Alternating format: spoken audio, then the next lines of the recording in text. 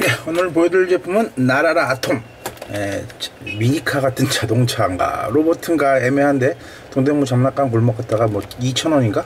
팔길래 한번 구입을 해봤습니다. 아톰 우주소년 아톰이라고 그러고 요즘은 이제 아스, 아스트로보이라고 해가지고 애니메이션 나왔었죠? 날아라 아톰 pull back이고요. 수동 완구 제품이랍니다. 우리 조카는 자동으로만 가는 걸 좋아하는데 아톰 피규어라서 로봇도 좋아해가지고요. 한번 구입을 해봤는데 반응은 나중에 봐야겠죠.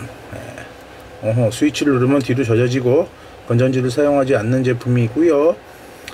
위너 스토이라는 데서 수입을 했고 손오공에서 판매를 하는 제품입니다.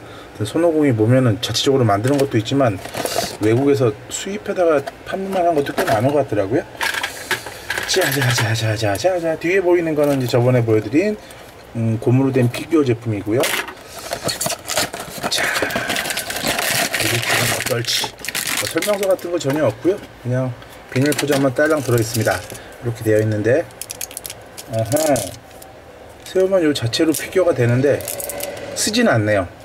발에다 이렇게 아톰 날아가는 모양 돼 있어 가지고 안 돼 있고 요거를 누르 뒤에 스위치가 하나 있죠?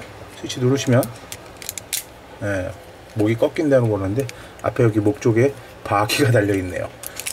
독특하게 돼 있고 그냥 누워 있으면 그렇고. 예, 이렇게 누운 상태에서 움직이는 건데 뒤로 당겼다가 놓으시면 오 진짜 가는 것 같다.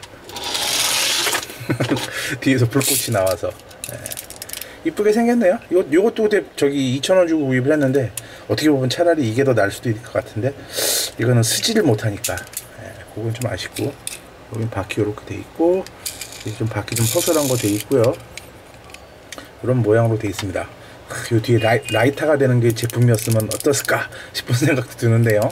예, 뭐 그냥 그저 그런 것 같네요. 손 움직이고 머리 움직이는 정도인 것 같습니다. 참고해 보시고요.